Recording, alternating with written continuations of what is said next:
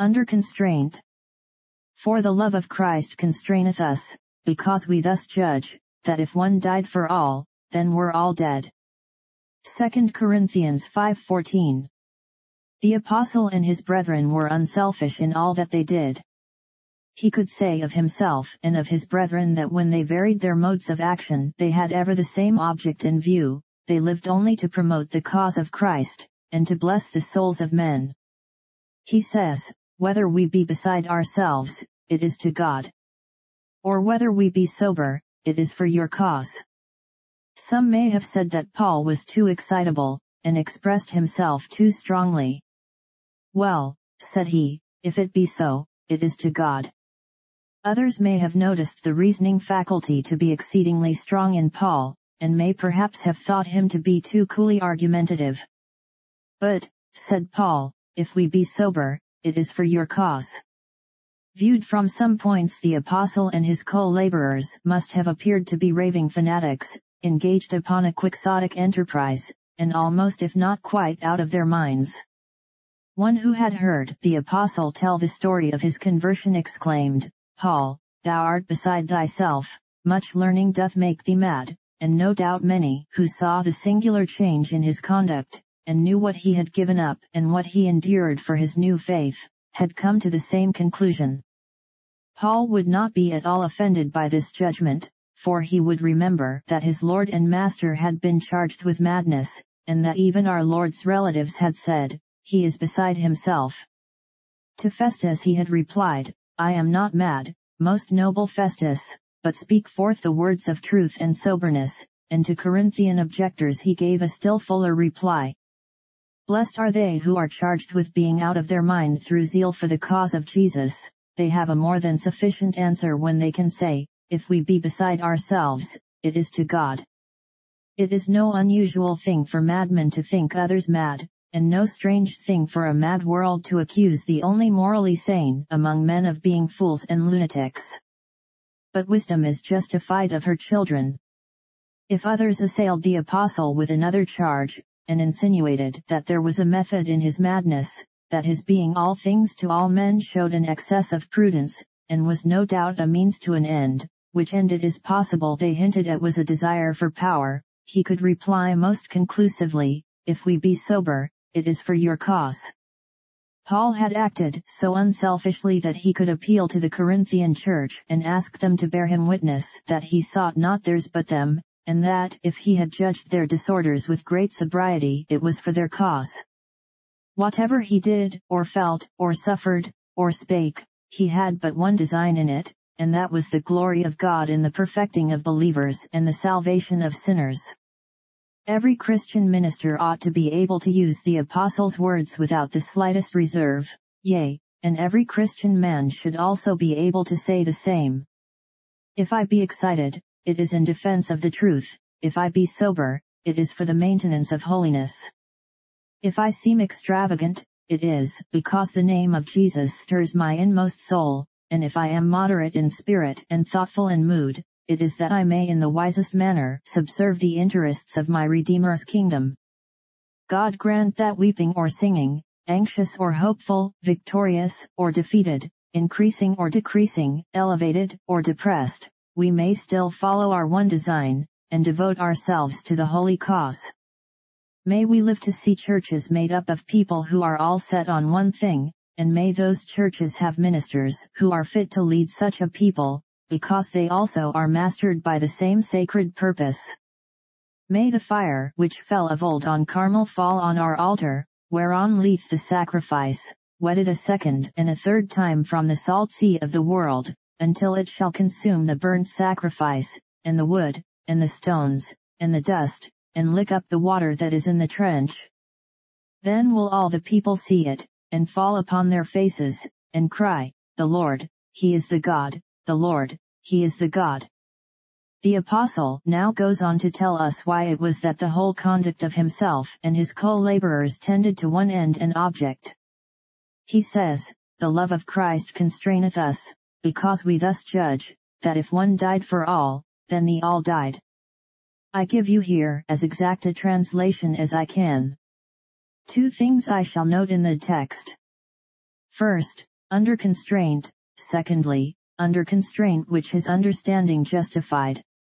Our main point will come under the head under constraint.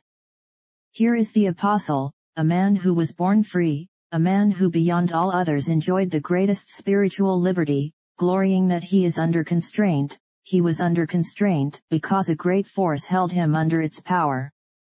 The love of Christ constraineth us.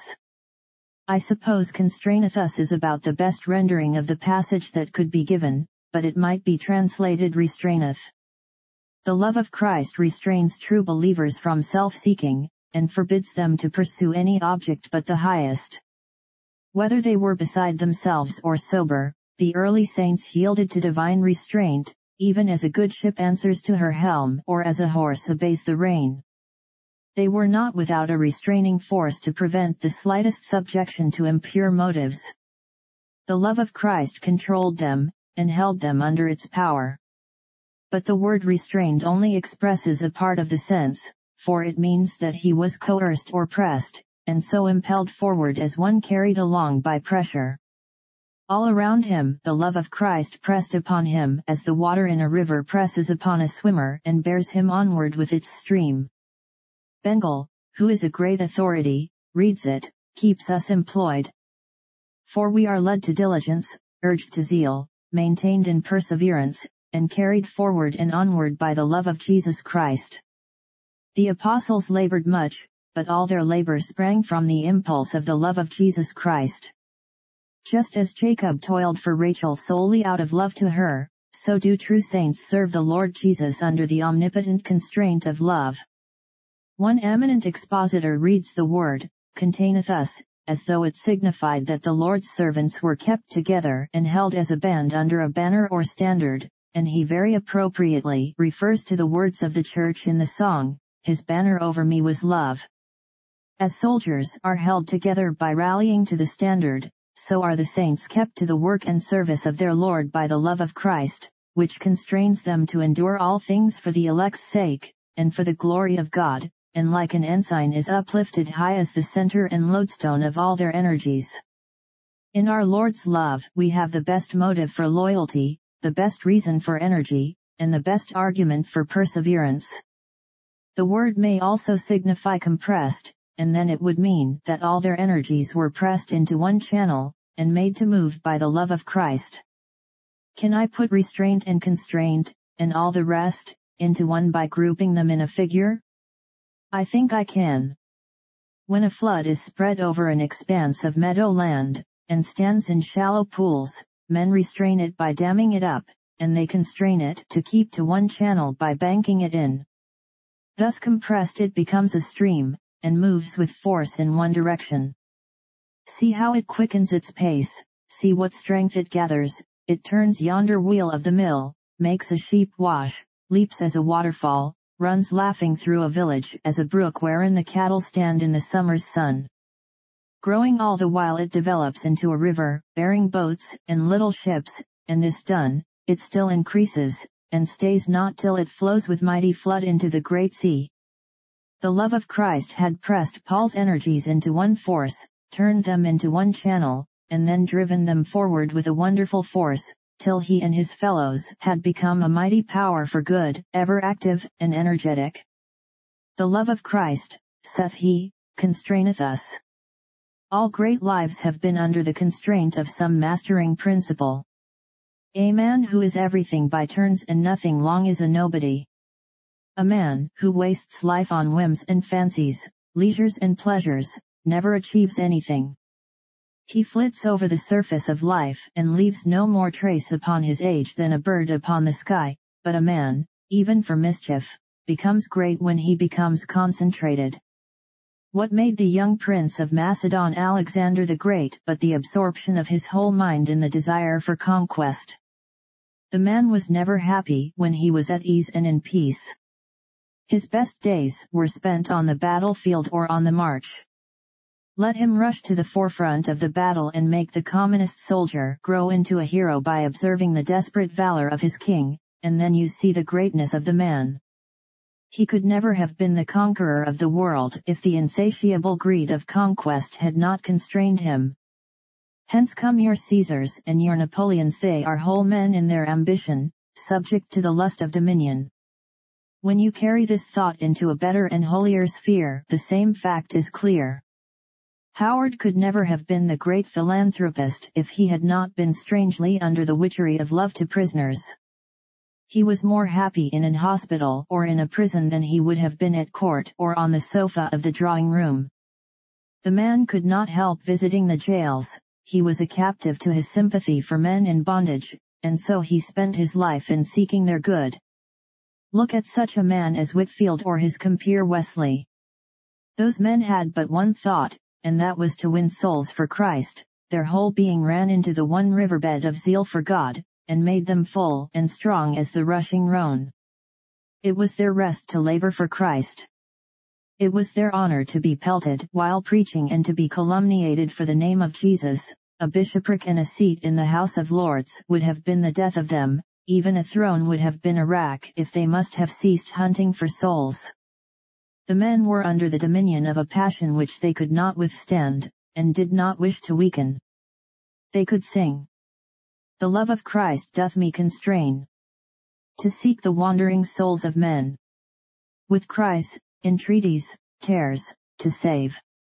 To snatch them from the fiery wave. Their whole life, being, thought, faculty, spirit, soul, and body became one and indivisible in purpose, and their sanctified manhood was driven forward irresistibly, so that they might be likened to thunderbolts flung from the eternal hand, which must go forward till their end is reached. They could no more cease to preach than the sun could cease shining or reverse his course in the heavens. Now, this kind of constraint implies no compulsion, and involves no bondage. It is the highest order of freedom, for when a man does exactly what he likes to do, if he wants to express the enthusiastic joy and delight with which he follows his pursuit, he generally uses language similar to that of my text. Why, saith he, I am engrossed by my favorite study, it quite enthralls me, I cannot resist its charms, it holds me beneath its spell. Is the man any the less free? If a man gives himself up to a science, or to some other object of pursuit, though he is perfectly free to leave it whenever he likes, he will commonly declare that he cannot leave it, it has such a hold upon him that he must addict himself to it. You must not think, therefore, that when we speak of being under constraint from the love of Christ, we mean by it that we have ceased to exercise our wills, or to be voluntary agents in our service. Far from it, we own that we are never so free as when we are under bonds to Christ. No, our God does not constrain us by physical force, his cords are those of love, and his bands are those of a man. The constraint is that which we are glad to feel, we give a full assent to its pressure, and therein lies its power. We rejoice to admit that the love of Christ constraineth us, we only wish the constraint would increase every day. We have seen that Paul had a great force holding him, we advance a step further and note that the constraining force was the love of Christ. He does not speak of his love to Christ. That was a great power too, though secondary to the first, but he is content to mention the greater, for it includes the less. The love of Christ constraineth us, that is, Christ's love to us is the master force. And oh, brethren, this is a power to which it is joy to submit, this is a force worthy to command the greatest minds. The love of Christ. Who shall measure this omnipotent force? That love, according to our text, is strongest when seen in his dying for men. Mark the context because we thus judge, that if one died for all, the peculiar display of the love of Christ which had supreme sway over Paul was the love revealed in his substitutionary death. Think of it a moment. Christ the ever blessed, to whom no pain, nor suffering, nor shame could come, loved men. O singularity of love! He loves guilty men, yea, loves his enemies. Loving poor fallen men, he took their nature and became a man. Marvelous condescension. The Son of God is also Son of Mary, and being found in fashion as a man he humbles himself, and is made of no reputation. See him taken before human judges and unjustly condemned, seized by Roman lictors and lashed with the scourge. Gazing a little longer, you see him nailed to a gibbet, hung up for a felon, left and jeer and jibe and cruel glance and malicious speech to bleed away his life, till he is actually dead, and laid in the grave. At the back of all this there is the mystery that he was not only dying, but dying in the stead of others, bearing almighty wrath, enduring that dread sentence of death which is attached to human sin. Herein is love indeed, that the infinitely pure should suffer for the sinful, the just for the unjust, to bring us to God. Love did never climb to so sublime a height as when it brought Jesus to the bloody tree to bear the dread sentence of inexorable law. Think of this love, beloved, till you feel its constraining influence. It was love eternal, for long before the earth was fashioned the eternal word had set his eye upon his people, and their names were graven on his heart. It was love unselfish, for he had nothing to gain from his redeemed, there were harps enough in heaven and songs enough in the celestial city without their music. It was love most free and spontaneous, for no man sought it or so much as dreamed thereof. It was love most persevering, for when man was born into the world and sinned, and rejected Christ, and he came to his own and his own received him not, he loved them still, loved them even to the end. It was love, what shall I say of it? If I were to multiply words I might rather sink your thoughts than raise them. It was love infinite, immeasurable, inconceivable. It passeth the love of women, though the love of mothers is strong as death, and jealousy is cruel as the grave. It passes the love of martyrs, though that love has triumphed over the fury of the flame. All other lights of love pale their ineffectual brightness before this blazing sun of love, whose warmth a man may feel but upon whose utmost light no eye can gaze. He loved us like a God. It was nothing less than God's own love which burned within that breast, which was bared to the spear that it might redeem us from going down into the pit. It is this force, then, which has taken possession of the Christian's mind, and as Paul says, constraineth us. Now we may advance another step and say that the love of Christ operates upon us by begetting in us love to him. Brethren beloved, I know you love our Lord Jesus Christ, for all his people love him. We love him because he first loved us. But what shall I say? There are scarcely any themes upon which I feel less able to speak than these two the love of Christ to us and our love to him, because somehow love wanteth a tongue elsewhere than this which dwells in the mouth. This tongue is in the head, and it can therefore tell out our thoughts, but we need a tongue in the heart to tell out our emotions, which have now to borrow utterance from the brain's defective orator. There is a long space between the cool brain and the blazing heart, and matters cool on the road to the tongue, so that the burning heart grows weary of chill words. But oh, we love Jesus, brothers and sisters, we truly love him. His name is sweet as the honeycomb, and his word is precious as the gold of Ophir. His person is very dear to us. From his head to his foot he is altogether lovely. When we get near him and see him at the last, methinks we shall swoon away with excess of joy at the sight of him, and I for one ask no heaven beyond a sight of him and a sense of his love. I do not doubt that we shall enjoy all the harmonies, and all the honors, and all the fellowships of heaven, but if they were all blotted out I do not know that they would make any considerable difference to us, if we may but see our Lord upon his throne, and have his own prayer fulfilled, Father, I will that they also whom thou hast given me be with me where I am, that they may behold my glory. He is happiness to us, yea, he is all in all. Do you not feel that the sweetest sermons you ever hear are those which are fullest of him? When I can sometimes hear a sermon it sickens me to listen to fine attempts to philosophize away the gospel, or to pretty essays which are best described as a jingle of elegant words. But I can hear with rapture the most illiterate and blundering brother if his heart burns within him, and he heartily speaks of my Lord, the well-beloved of my soul. We are glad to be in the place of assembly when Jesus is within, for whether on Tabor with two or three, or in the congregation of the faithful, when Jesus is present it is good to be there. This joyful feeling when you hear about Jesus shows that you love his person, and your endeavors to spread the gospel show that you love his cause. The love of Christ to you has moved you to desire the coming of his kingdom, and you feel that you could give your life to extend the borders of his dominions, for he is a glorious king, and all the world should know it, oh that we could see all the nations bowing before his scepter of peace. We love him so much that till the whole earth smiles in the light of his throne we can never rest. As to his truth, a very great part of our love to Christ will show itself by attachment to the pure gospel, I have not much patience with a certain class of Christians nowadays who will hear anybody preach so long as they can say, he is very clever, a fine preacher, a man of genius, a born orator. Is cleverness to make false doctrine palatable? Why, sirs, to me the ability of a man who preaches error is my sorrow rather than my admiration. I cannot endure false doctrine, however neatly it may be put before me.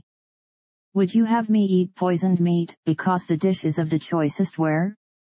It makes me indignant when I hear another gospel put before the people with enticing words, by men who would fain make merchandise of souls, and I marvel at those who have soft words for such deceivers. That is your bigotry, says one. Call it so if you like, but it is the bigotry of the loving John who wrote, If there come any unto you, and bring not this doctrine, receive him not into your house, neither bid him God speed. For he that biddeth him God speed is partaker of his evil deeds. I would to God we had all more of such decision, for the lack of it is depriving our religious life of its backbone and substituting for honest manliness a mass of the tremulous jelly of mutual flattery. He who does not hate the false does not love the true, and he to whom it is all the same whether it be God's word or man's, is himself unrenewed at heart. Oh, if some of you were like your fathers, you would not have tolerated in this age the wagon loads of trash under which the gospel has been of late buried by ministers of your own choosing. You would have hurled out of your pulpits the men who are enemies to the fundamental doctrines of your churches, and yet are crafty enough to become your pastors and undermine the faith of a fickle and superficial generation. These men steal the pulpits of once orthodox churches, because otherwise they would have none at all. Their powerless theology cannot of itself arouse sufficient enthusiasm to enable them to build a mousetrap at the expense of their admirers, and therefore they profane the houses which your sires have built for the preaching of the gospel, and turn aside the organizations of once orthodox communities to help their infidelity. I call it by that name in plain English, for modern thought is not one whit better, and of the two evils I give infidelity the palm, for it is less deceptive. I beg the Lord to give back to the churches such a love to his truth that they may discern the spirits, and cast out those which are not of God. I feel sometimes like John, of whom it is said that, though the most loving of all spirits, yet he was the most decided of all men for the truth, and when he went to the bath and found that the heretic, Cerinthus, was there, he hurried out of the building, and would not tarry in the same place with him.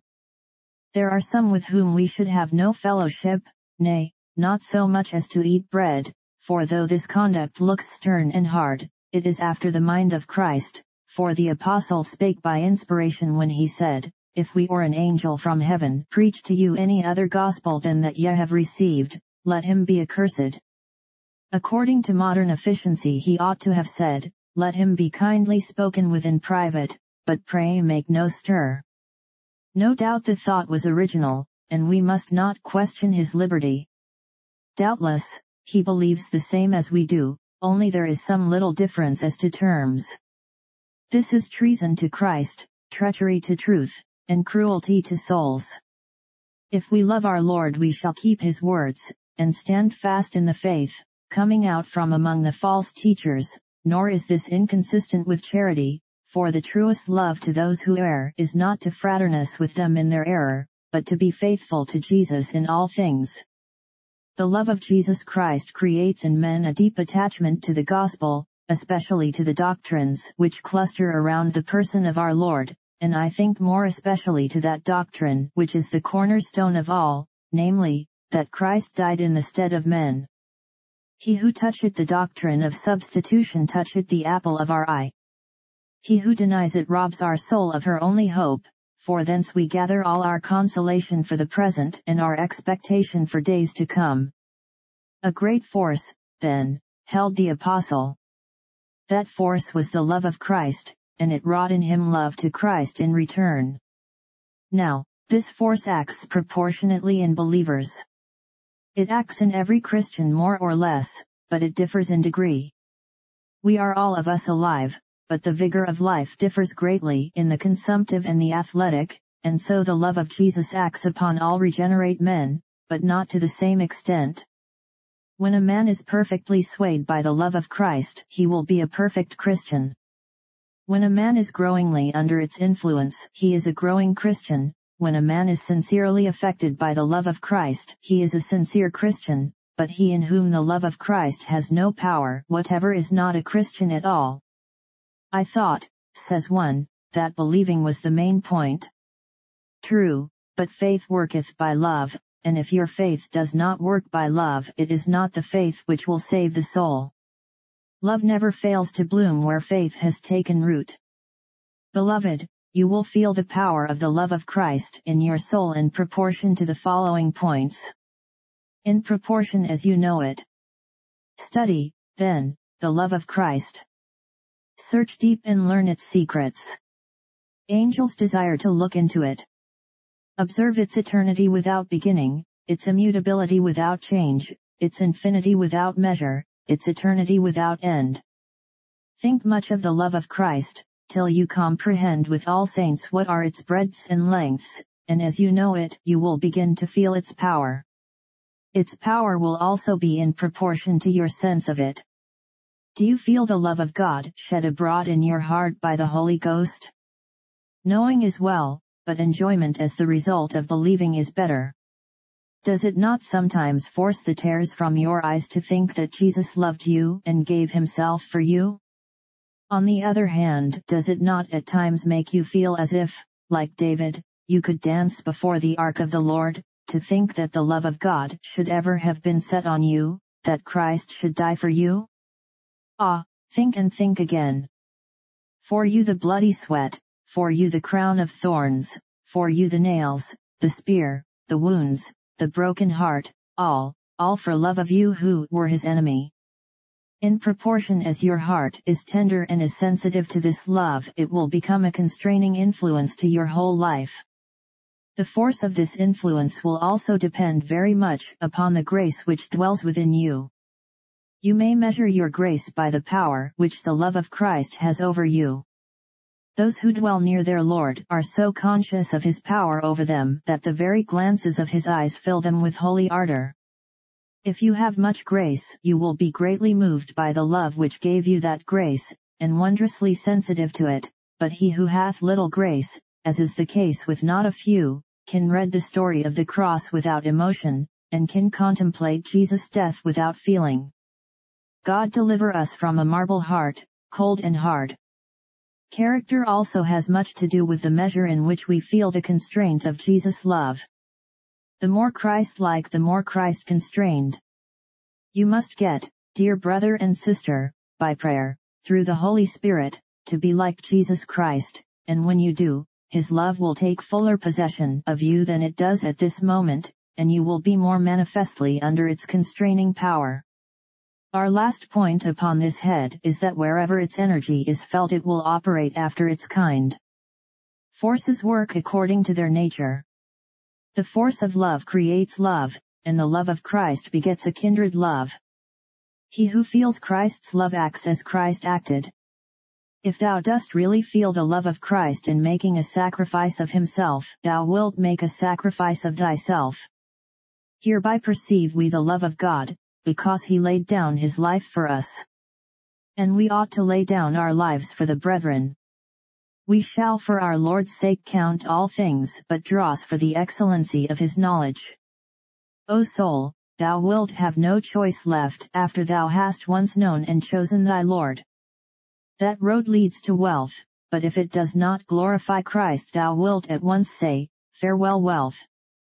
That road leads to honor, thou wilt be famous if thou wilt take that path, but if it will bring no glory to Christ, if thou feelest the power of his love in thy soul, thou wilt say, Farewell honor. I will embrace shame for Christ, for my one thought is to sacrifice myself for him who sacrificed himself for me. If the love of Christ constrain you it will make you love others, for his was love to others, love to those who could do him no service, who deserved nothing at his hands. If the love of Christ constrain you, you will specially love those who have no apparent claim upon you, and cannot justly expect anything from you, but on the contrary deserve your censure. You will say, I love them, because the love of Christ constraineth me. Dirty little creatures in the gutter, filthy women polluting the streets, base men, who come out of jail merely to repeat their crimes, these are the fallen humanities, whom we learn to love when the love of Christ constraineth us. I do not know how else we could care for some poor creatures, if it were not that Jesus teaches us to despise none and despair of none. Those ungrateful creatures, those malicious creatures, those abominably blasphemous and profane creatures, whom you sometimes meet with and shrink from, you are to love them, because Christ loved the very chief of sinners. His love to you must be reflected in your love to the lowest and vilest. He is your sun, be you as the moon to the world's night? The love of Jesus Christ was a practical love. He did not love in thought only and in word, but in deed and in truth, and if the love of Christ constraineth us, we shall throw our souls into the work and service of love, we shall be really at work for men, giving alms of our substance, enduring our measure of suffering, and making it clear that our Christianity is not mere talk, but downright work, we shall be like the bullock of the burnt offering, laid upon the altar holy to be consumed, we shall consider nothing but how we can most completely be eaten up with the zeal of God's house, how without the reserve of one single faculty we may be entirely consumed in the service of our Lord and Master. May the Lord bring us to this. The constraint of which we have spoken was justified by the Apostles' understanding. The love of Christ constraineth us, because we thus judge. Love is blind. A man may say that in the affairs of love he exercises a calm discretion, but I take leave to doubt it. In love to Christ, however you may be carried right away and be as blind as you like, and yet you shall act according to the soundest judgment.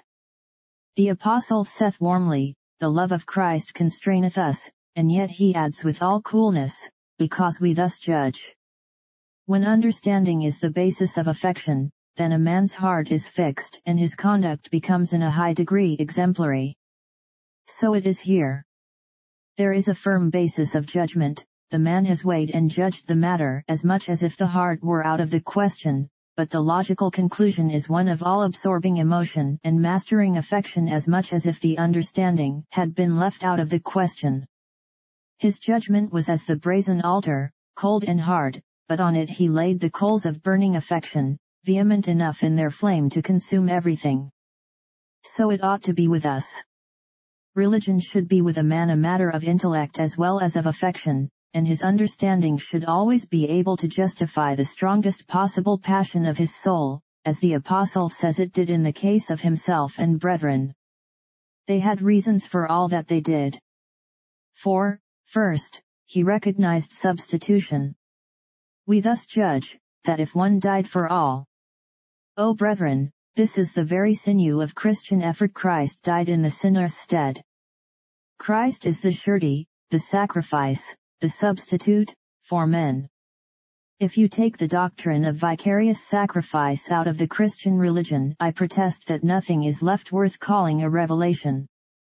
It is the heart, the head, the bowels, the soul, the essence of our holy faith, that the Lord hath laid on him the iniquity of us all, and with his stripes we are healed. The apostle firmly believed this to be a matter of fact, and then out of his belief there grew an intense love to Jesus, as well there might. Did Jesus stand in my stead? Oh, how I love him! Did he die for me? Then his love hath mastered me, and henceforth it holds me as its willing captive. O sacred substitute, I am thine, and all that I have. In the next place, he recognized union to Christ, for, said he, if one died for all, then the all died, for so it runs, that is to say the all for whom Christ died, died in his death. His dying in their stead was their dying, he dies for them, they die in him, he rises, they rise in him, he lives, they live in him. Now, if it be really so, that you and I, who have believed in Christ are one with Christ, and members of his body, that truth may be stated coolly, but like the flint it conceals a fire within it, for if we died in Jesus, we are henceforth dead to the world, to self, to everything but our Lord. O Holy Spirit, work in us this death even to the full. The Apostle recognizes the natural consequence of union with the dying Lord, and resolves to carry it out. Brethren, when Adam sinned we sinned, and we have felt the result of that fact, we were constituted sinners by the act of our first representative, and every day we see it to be so. Every little child that is carried to the grave bears witness that death passeth upon all men, for that all have sinned in Adam, even though they have not personally sinned after the similitude of his transgression. Now, just as our sin in Adam effectively operates upon us for evil, so must our death with Christ effectively operate upon our lives for good. It ought to do so. How can I live for myself? I died more than 18 centuries ago. I died and was buried, how can I live to the world? 1800 years ago and more the world hung me up as a malefactor, I, and in my heart of hearts I have also crucified the world, and henceforth regard it as a dead malefactor. How shall I fall in love with a crucified world, or follow after its delights? We thus died with Christ. Now, saith the Apostle, the love of Christ constraineth us, because we thus judge, that if one died for all, then the all died. All who were in Christ, for whom he died, died when he died, and what follows from it, but that henceforth they should not live unto themselves, but unto him that died for them, and rose again? We are one with Christ, and what he did for us we did in him, and therefore we are dead because he died, hence we ought no longer to live in the old selfish way, but should live to the Lord alone. There is the basis upon which the intellect rests, and then the affections yield themselves to the sacred force of Jesus' dying love. I close with the following reflections, putting them very briefly. The first reflection is, how different is the inference of the apostle from that of many professors. They say, if Christ died once for all, and so finished the work of my salvation, then I am saved, and may sit down in comfort and enjoy myself, for there is no need for effort or thought. Ah, what a mercy to feel that you are saved, and then to go to sleep in the corner of your pew. A converted man, and therefore curled up upon the bed of sloth. A pretty sight surely, but a very common one. Such people have but little or no feeling for others who remain unconverted. The Lord will save his own, say they, and they little care whether he does so or not. They appear to be dreadfully afraid of doing God's work, though there is not the slightest need for such a fear, since they will not even do their own work. These are presumptuous persons, strangers to the grace of God, who know not that a main part of salvation lies in our being saved from selfishness and hardness of heart. It is the devil's inference, that because Christ did so much for me, I am now to do nothing for him, I must even beg the devil's pardon, for I scarcely think that even he is base enough to draw such an inference from the grace of God. Assuredly, he has never been in a position to attempt so detestable a crime. It is to the last degree unutterably contemptible that a man who is indebted to the Lord Jesus Christ for so much should then make the only consequence of his indebtedness to be a selfish indolence. Never will a true child of God say, Soul, take thine ease. Thou art all right. What matters anything else? Oh no, the love of Christ constraineth us. How much more ennobling, again, is such conduct as that of the apostle than that of many professed Christians. I am not about to judge anyone, but I would beg you to judge yourselves. There are some, and I would try to hope that they may be Christians the Lord knoweth them that are his who do give to the cause of God, who do serve God after a fashion, but still the main thought of their life is not Christ nor his service, but the gaining of wealth. That is their chief object, and towards it all their faculties are bent. There are other church members God forbid we should judge them whose great thought is success in their profession. I am not condemning their having such a thought, but the chief ambition of the apostle and of those like him was not this, but something higher. The chief aim of all of us should be nothing of self, but serving Christ. We are to be dead to everything but our Lord's glory, living with this mark before us, this prize to be strained after, that Christ shall be glorified in our mortal bodies. In our business, in our studies, in everything, our motto must be, Christ, Christ, Christ. Now, is it not a far more noble thing for a man to have lived wholly unto Christ than for mammon, or honor, or for himself in any shape? I speak as unto wise men, judge yet what I say. Do you not think also that such a pursuit as this is much more peace-giving to the spirit? People will judge our conduct, and they are sure to judge as severely as they can. If they see us zealous and self-denying they will say of us, Why, the man is beside himself. This will not matter much to us if we can reply, it is for God, or if they say, oh, you old sober sides, how grave you are, we shall not be offended, if we can reply, ah, but it is for the good of others I am sober. You will be very little distressed by sharp criticisms if you know that your motive is wholly unselfish. If you live for Christ, and for Christ alone, all the carpings of men or devils will never cast you down. Do you not think that a life spent for Jesus only is far more worth looking back upon at the last than any other? If you call yourselves Christians, how will you judge a life spent in money making? It cannot be very much longer before you must gather up your feet in the bed and resign your soul to God.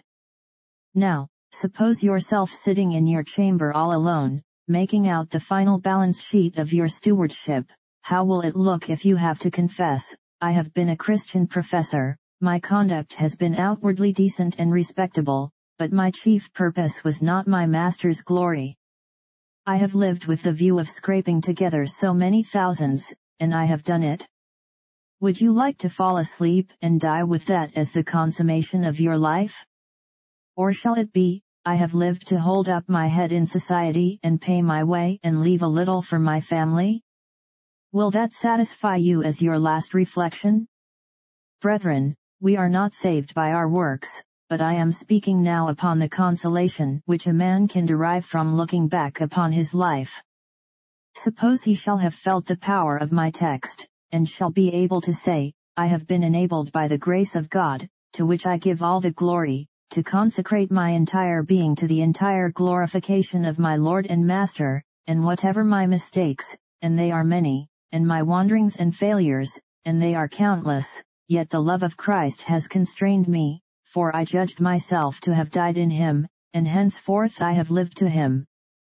I have fought a good fight. I have kept the faith. Why, methinks it were worthwhile so to die. To be constrained by the love of Christ creates a life heroic, exalted, illustrious. No, I must come down from such lofty words it is such a life as every Christian ought to live, it is such a life as every Christian must live if he is really constrained by the love of Christ, for the text does not say the love of Christ ought to constrain us, it declares that it does constrain us. Men and brethren, if it does not constrain you, judge yourselves, that ye be not judged and found wanting at the last. God grant we may feel the love of God shed abroad in our hearts by the Holy Ghost. Amen.